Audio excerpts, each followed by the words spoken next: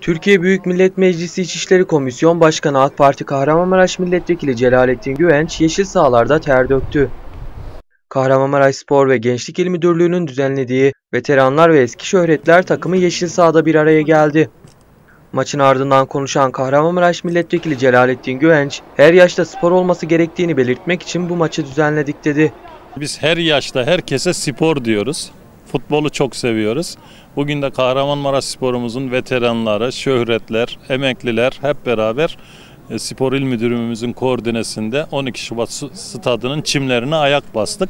İyi bir maç olsun istiyorum. Eğlenmek, amacımız eğlenmek, kaynaşmak gençlerimizle, orta yaşlılarla ve herkese de diyoruz ki her yaşta lütfen spor yapın. Gençlik İl Müdürü Ali İhsan Kabakçı da burada açıklamalarda bulundu.